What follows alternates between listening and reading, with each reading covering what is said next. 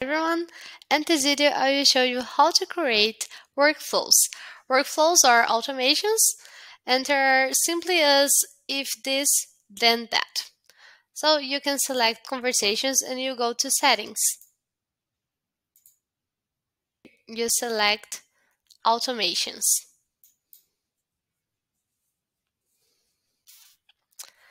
We have two types of workflows, time-based and event-based. Time-based are the kind of workflows that happens when a certain period has passed.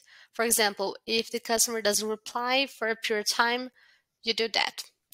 And the event-based workflows is when an event happened. So if the conversation was solved or was closed, you can do something. I will give you three examples. The first one will be a time-based workflow and we will name that as workflow survey no reply. How does that happen? So when the agent is talking with the customer and that conversation is in the status of solved, a survey is automatically sent to the customer.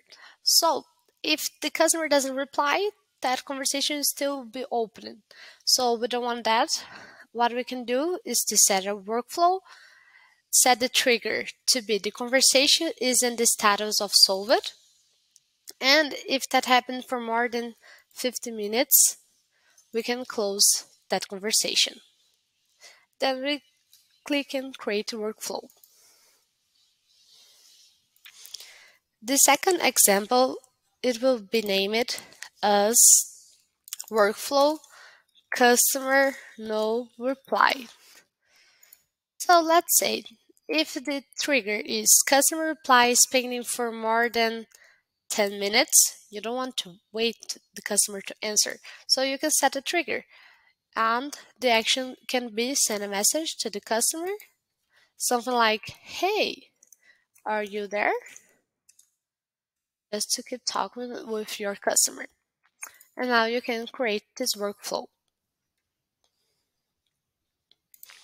Now, the last example, it will be named workflow agent, no reply.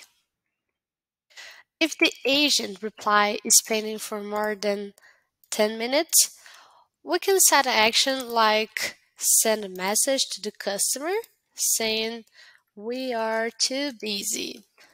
We will contact you as soon as possible.